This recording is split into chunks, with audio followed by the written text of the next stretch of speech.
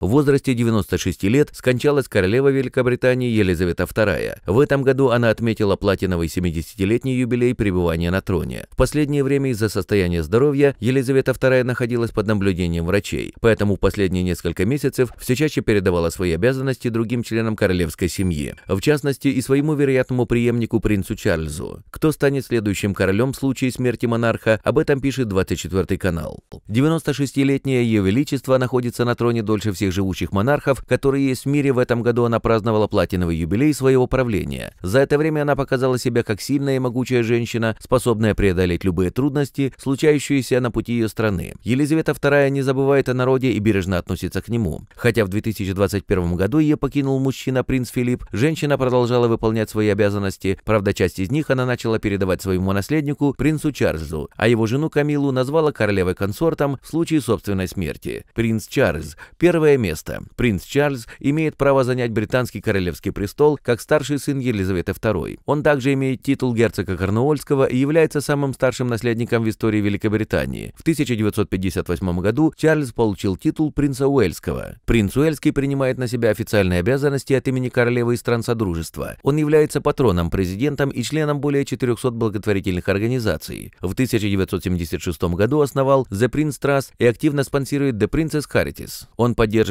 ограниченное сельское хозяйство, обращает внимание на экологические проблемы, однако есть и те, кто критикует деятельность герцога Корнуольского, в частности его поддержка альтернативной медицины была подвергнута критике некоторых специалистов в медицинском сообществе. Он также является автором и соавтором многих книг. Ни один выход принца не остается без внимания СМИ. Уильям Герцог Кембриджский. Второе место. Принц Уильям является старшим сыном принца Чарльза, родился 21 июня 1982 года в Лондоне. При рождении ему дали четыре имени – Уильям Артур Филипп Луи. Герцог занимает второе место в очереди на британский престол и в случае коронации будет именоваться как Вильгельм V. Третье место – принц Джордж является первенцем в браке герцогов кембриджских. Он родился в 2013 году, и это событие стало знаменательным для монаршей семьи и в истории Великобритании, так как это второй случай рождения правнука правящего монарха и третьего прямого претендента на трон. Полное имя маленького принца Джордж Александр Луи. Джорджем его назвали в честь отца королевы Георга VI, Александром в честь второго имени Елизаветы II, Луи в честь дяди принца Филиппа, Луиса Маунтбеттена. Весь мир встревожен новостью об ухудшении самочувствия Елизаветы II. Сейчас в Шотландии рядом с королевой уже есть ее дети. В случае, если не станет 96-летнего Ее Величества, похороны пройдут по давно разработанным сценариям «Лондонский мост». В распоряжении издания «Политика» уже давно есть подробный план. Впервые сценарий «Лондонский мост» был написан в 1960-х годах, но никогда не публиковался с такими подробностями. Согласно ему, через несколько часов после смерти королевы Елизаветы II состоится ряд важных звонков премьер-министру, секретарю кабинета министров и еще другому ряду министров и официальным лицам. Новая премьер-министр Ли Страс будет проинформирована личным секретарем королевы, который сообщит о смерти Елизаветы II. После этого королевская семья выпустит официальное сообщение, сообщив таким образом общественность. Секретари департаментов должны сказать министрам фразу «настолько, что проинформировали о смерти Ее Величества Королевы». Министры и чиновники также получат электронное письмо от секретаря кабинета министров, черновик которого говорит «Уважаемые коллеги, я с грустью пишу вам, чтобы сообщить вам о смерти Ее Величества Королевы». Далее флаги в Лондоне приспустят на 10 минут, а парламент Британии законодательные органы Северной Ирландии, Шотландии и Уэльса закроются. Сайт королевской семьи сменится черным, подтверждая смерть королевы, а на сайте правительства будет отображаться черный баннер. Минобороны организует салют и будет объявлена минута молчания всей страной. Затем премьер проведет аудиенцию с новым королем, а в 18.00 король Карл, монарший имя принца Чарльза,